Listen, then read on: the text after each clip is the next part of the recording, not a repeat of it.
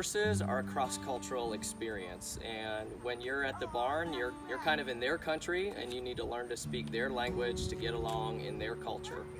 Uh, they're very non-verbal creatures. They have very few vocalizations they make and they, they use a lot of non-verbals and body posture. And and there's a lot of expressions to learn to read. And and as we get farther from an agrarian society coming to the barn, interacting with the horses and with the other animals is really a new experience for a lot of our students.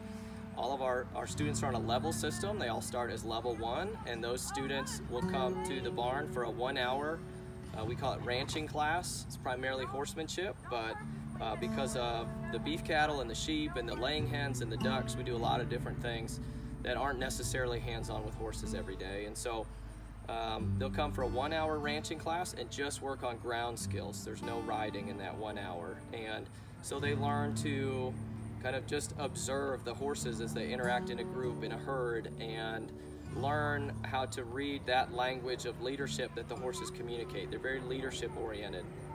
And then we'll start to teach the students how they themselves can act out and speak that language of leadership.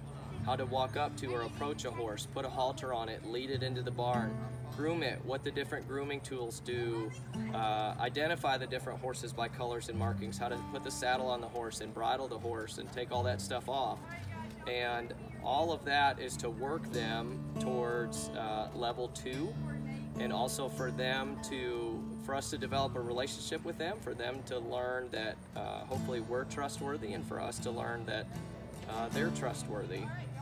And uh, when they move from a level one to a level two, they can move from a one hour class to a two hour class and then they can enjoy riding skills if they choose. And um, they can take all of the preparatory skills that they learned as a level one and put them into practice.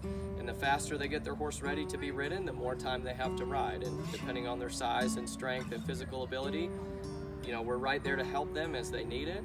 Um, and and then riding the horses, being on their backs and uh, putting leadership into practice is a different experience from the ground, but there's a lot of similarities as well. Uh, many of our students are very eager for those level two privileges. They're very eager to ride a horse. Some are either cautious or concerned because of just uncertainty of the unknown, or maybe they've had a negative experience. If they've had a negative experience, a lot of times they were kind of just put up on the horse without much instruction, and so uh, we'll ask them, you know, if they would if they would trust us to kind of teach them and give it a chance for a quarter, and if they like it, great, and if they don't, there's no they don't have to keep taking class. Um, there's also a few students who their favorite days were the days that were too wet to ride, and so we would work on different projects and. Um, and so they said, we don't really love riding, but can we just come work on projects? And so we've got a class of those students that come every week and they help with fence maintenance and installation and all sorts of different projects. And um, we call them our ranch hands. So multiple different ways that we have class here and uh, some of the differences between our level one and level two students.